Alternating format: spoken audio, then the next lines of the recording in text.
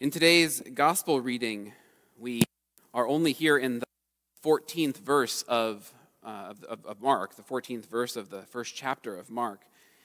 And we are already here at the beginning of Jesus' ministry. You'll recall the last time that I was here with you, I uh, made the reference that Mark was in too much of a hurry to have a nativity.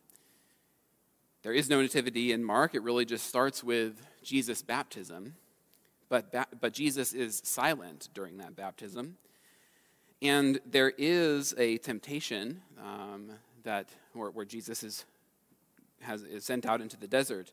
The temptation does happen, but it takes place over only two verses, and there is no dialogue. There is no Satan talking to Jesus and offering him various forms of power like we see in Luke and in Matthew. All of that preamble is 13 verses, and here at the 14th verse, we hear Jesus' voice for the very first time.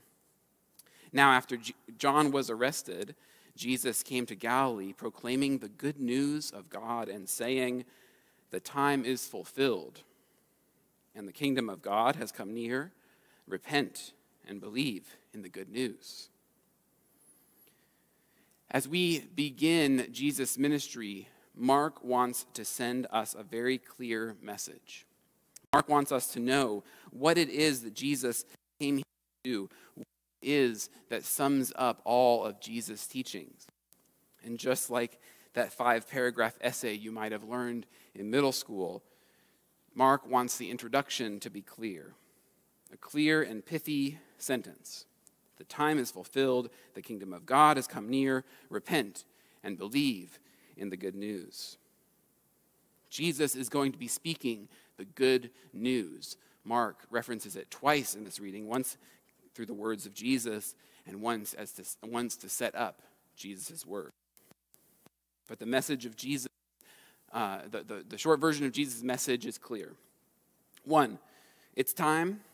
Two, the kingdom of God is, is here. Three, repent. And all of this is good news, and so you should believe it. I don't know about you, but when I hear Jesus' introduction here, the beginning of these teachings, I have a couple of thoughts. I think, okay, it's time. Great. Glad that it's time. Let's get this thing started. The kingdom of God. That sounds good to me. Sounds like something I would want to get into. Uh, let me hear more about that. And then in almost capital letters, I hear Jesus say, Repent. And I respond, Hmm, do I have to do that? Do I have to do the repent thing? Repent repent. When we think about the word repent and when we hear the word repent, we might think to ourselves, and just a few weeks away, can we exist in this after Epiphany time a little longer? Why are we talking about repent?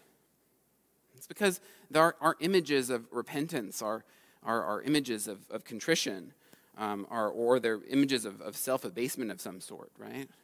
On our knees, praying for hours, for forgiveness, telling a priest or God how terrible we are, how terrible I am.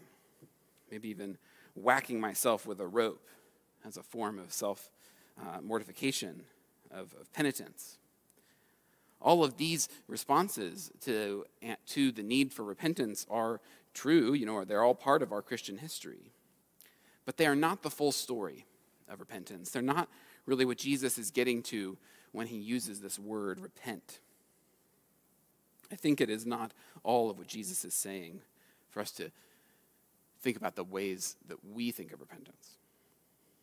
Jesus use, uses an interesting and a very powerful word here. The, the Greek word here is metanoia. Metanoia, which literally means change your mind. It is as if Jesus is saying, The kingdom of God has come near change your mind and believe in the good news. Metanoia also has a flavor of a of, of turn around.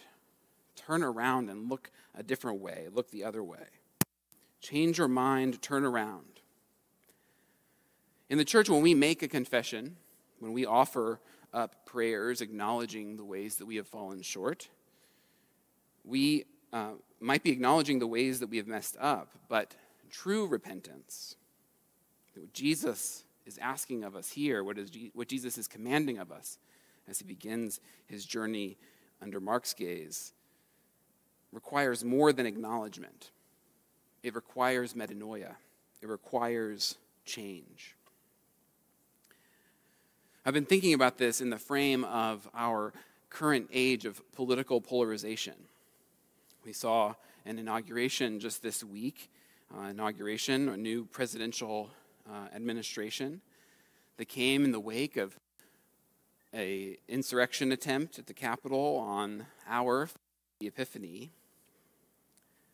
That came after four years, and then after eight years, that came after eight more years before that, where we have seen our world, pull, our, our United States world, pulled further and further apart into political camps. In our world, we might see and think about this idea of changing, of changing our minds or turning ourselves around, if we think about it in terms of our political realities. We set up this dualistic, right, of Democrat and Republican, of progressive and conservative. But when we focus on uh, human expressions to sides like that of the political debate, we might see our family and friends or our neighbors focused on one or the other expression. And we might, and so when we hear Jesus say, turn it around, we might say, yeah, Jesus, they do need to turn it around. And the truth is that they'll say the same thing about us. We do need to turn it around. But this is obviously not Jesus is talking about. But neither in this specific example would Jesus compel us or draw us into some kind of lukewarm middle. Jesus doesn't want us to find that way through the middle.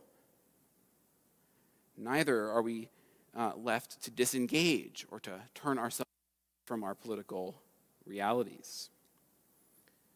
And so we might ask ourselves so is it the right, is it the left, is it the middle, or is it nothing? And the answer is yes, but also no.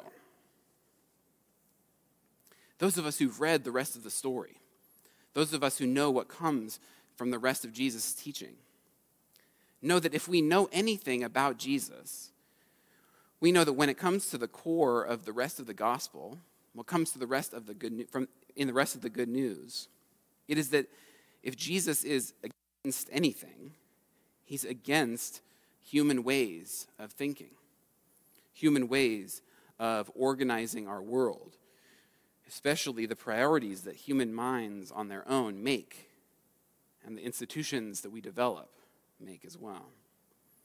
Money and sex and exploitation and marginalization, rich and poor. Jesus isn't a fan of the way that we structure our world. And every single one of his parables is about some aspect of the way that we, left to our own devices, would have our world be. And yet, it is also clear that Jesus understands that we could structure our lives in holy ways. What is required of us, Jesus says, and what Jesus says here at the very beginning of the story in Mark, is for us to change our minds. One of the things we do politically is that we make the case for how our way of seeing things is, is right or correct because it's somehow been sanctified by its proximity to Jesus. We do this, we choose this policy, we create this economic. That's how Jesus would want us to do it. But if both or all sides think this way, how can that be true? And why? We often hear us say, hear they'll say to each other, Jesus isn't political. But that's actually a profound misunderstanding of Jesus. It is true, Jesus isn't a Republican and Jesus isn't a Democrat. Jesus isn't right and he isn't left. Jesus isn't actually a part of the system at all. But because of the incarnation and because of the power of the Holy Spirit, Jesus is near to all of our humanity. Jesus is near to all of our human systems while also being completely separate from them. Jesus is near and yet completely separate from all of them. When we look at our human systems and we think we see Jesus, whether it be in a political party or a political ideology or a set of economic principles, in any code of ethics, if we think that we see Jesus, if we think we see Jesus, it's not because we are right, because Jesus is there. It is because our focus is messed up. It is because we see our world with crossed eyes. My apologies to Dr. Ketteritz for this metaphor, but I'm going to carry it further. Jesus is enough into our humanity, is close enough to our humanity, that the central sin of our lives and the reason commandment of the Ten Commandments is, You shall have no gods before me. As we look at our world, we see our world with vision that is marred by our willingness and our desire to see God and to put God into the things that we like. We purposely look at the world and we cross our eyes just enough so that we can see Jesus and our realities and our opinions line up. Because God is so close to everything, we train ourselves to see no distinction, to see an overlap with whatever it is that we like. It says, repent. What Jesus is saying to us is turn around and change your minds. Notice that your vision is actually blurred. The reason that repent, change your minds, is good news, is because it's an invitation to stop trying to make sense of the world while seeing a distorted image of it. It's a distorted image that we make for ourselves, where we superimpose God and Christ upon the stuff that we believe or have been formed to believe by our families. Jesus says, Repent because he wants us to see clearly recognizing that it's so much better to focus on Christ, to truly focus on Christ. And being focused there, focused outside and yet close to our humanity and to our human systems, we are able finally to see those systems and institutions for what they are. Tools to notice and to bring to the fore the kingdom of God that is so near and yet not the same as what we would create without the help of Jesus. And so this is that Jesus is political. Not because he's with any movement or party, but because he wants us to have done our spiritual work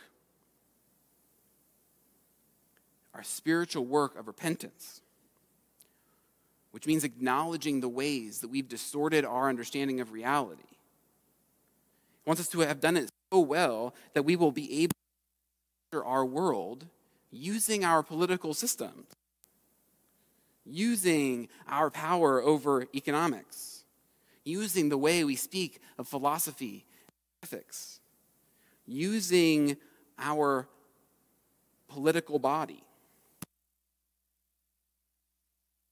in his image and in the image of the kingdom of God that he announced, instead of the image of a political or economic ideology. This is difficult, but powerful and important deconstruction. It is difficult, but it is powerful and important work. And it is indeed good news. That is why we have communities like St. Margaret's, like the Episcopal Church, or like our other churches throughout our world. It is because they give us the ability to be in partnership and relationship with people across and to see that Christ is present in and near them. Jesus starts his whole ministry with an announcement that what is needed is repentance. Because it's so much better to see the world clearly, to uncross our eyes by looking at Christ. That is where the spiritual growth that is necessary to fully engage our world comes